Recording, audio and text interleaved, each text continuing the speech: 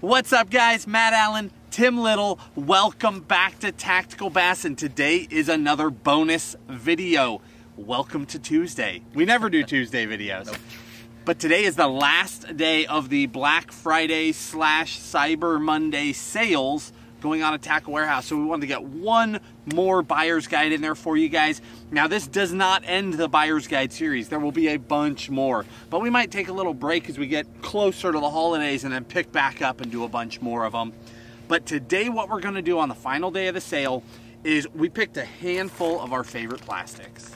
Uh, 12 to be exact. Some of them are tried and true, must have standby baits. Other ones are must have baits, but they are not necessarily baits that you've ever thrown, necessarily even heard of. But we picked 12 of them out. We're each gonna talk about a handful of them, throw you some curveballs. They're in no particular order. Take it away. Yes, so you guys survived the weekend. Hopefully your bank accounts did too. we have, uh, yeah, we have a pretty good series going, and uh, we're gonna start off with the Senko. This is a buyer's guide for soft plastics that you can use year round, not just wintertime. And the Yamamoto Senko, we've done videos on the past, is probably the most universal, most used bait in bass fishing.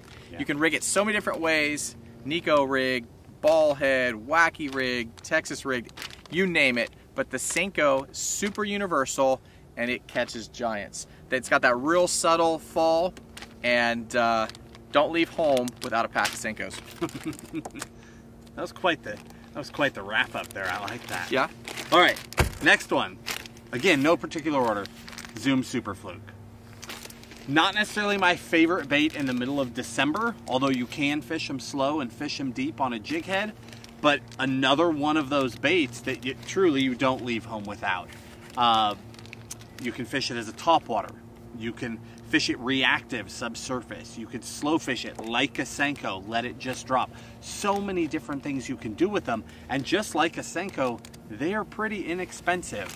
Uh, you can stock up on a pack or two, especially when they're on sale, and just put them away. One of my favorite colors that I've fallen in love recently with is Tennessee Shad. Uh, I picked that up this fall. I had not thrown that color before because it doesn't perfectly match the bait fish that are in our waters, but it's one of those colors that just appears to be universal and just works everywhere.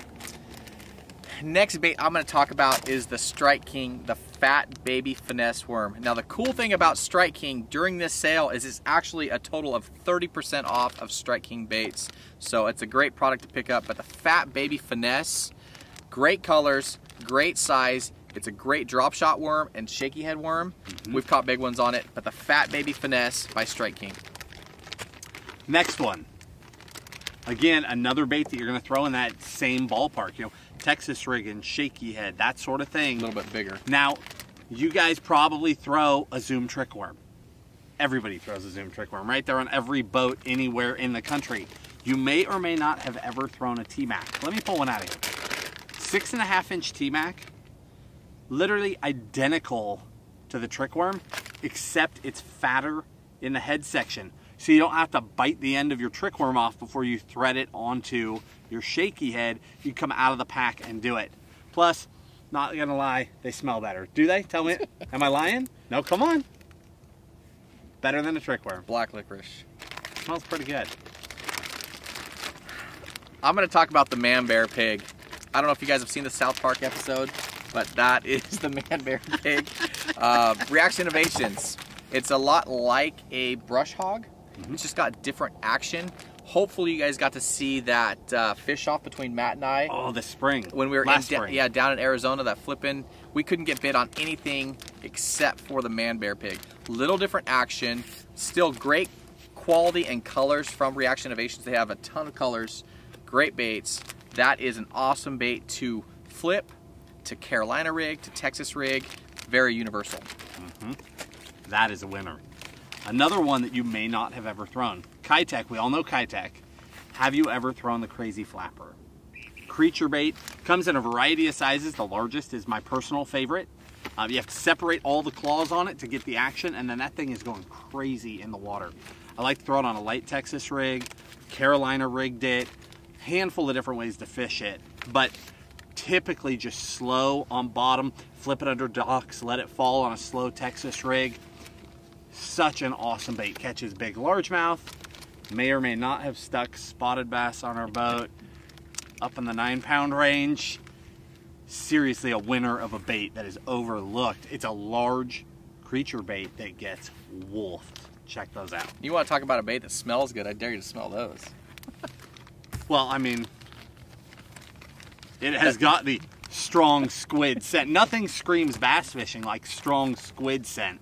But seriously, there is something magical about that disgusting squid smell. If you guys notice anything different about this video, it's because we lack sleep.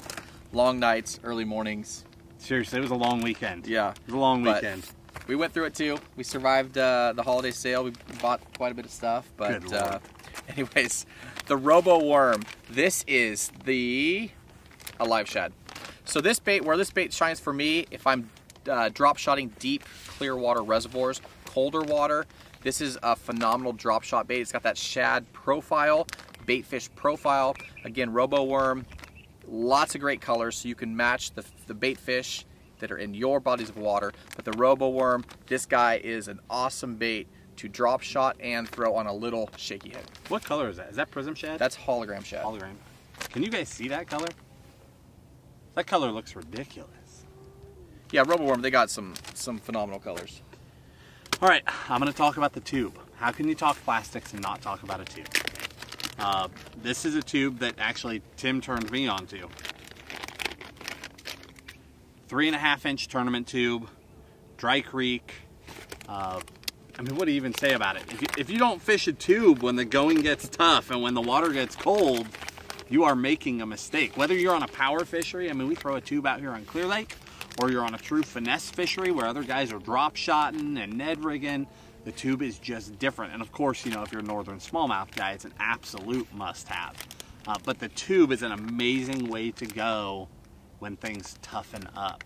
Uh, we like to throw it on an exposed jig head, lighter line, uh, because you're on because you are exposed. You can go with really light line and still get a hook in them, and you can really finesse that bait and stick a lot of fish. Tube is super universal. You can you can fish it to match how the fish want their the the act what's the word how how fast or how active mm-hmm. they want the bait. You know, you can pop that tube, you can hop it, you can drag it, everything in between.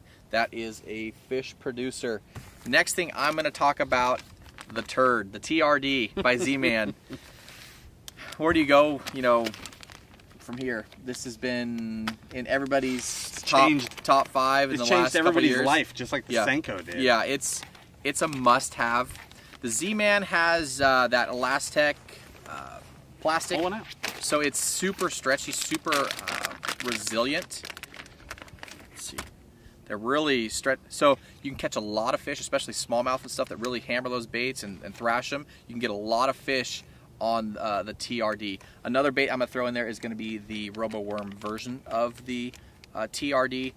Great colors. We we fished a lot of smallmouth fisheries this year, and that was the bait that we were throwing in there. But the TRD or a Ned rig, some style of Ned rig worm is a must-have. When the when the fishing gets tough, uh, you put that thing on a little mushroom head, little ball head, and it catches them. Yeah. If you're on a fishery where a lot of guys have now turned to the Ned rig, go try a tube. If you're on a traditional tube fishery, go throw a Ned rig because they smash. Uh, the next one I'm going to talk about, little V-tail shad. Little tiny bait. That's the three inch. I don't know if you can even see it in there, but it's just a, a little fork tail bait. Think like a 2.8 Keitech, but with a fork tail instead of a paddle tail. Uh, fishes extremely well on the Damiki rig and fishes extremely well as a drop shot bait. Uh, and that that is a sleeper, I think. That's one that's just sort of showed up in the last year and has just quietly stuck around, and that is a fish catching bait. Are you done? I got one more. You got one more. All right. The last worm that I'm going to talk about is going to be a combination, either the four and a half fat or the six inch fat robo worm. Super universal. Again, I've I've talked about it before. Great colors, but out here on the west coast, the robo worm has been winning tournaments for years on years. You know, the the six inch Margarita Mutilator three is like everybody's favorite worm out here.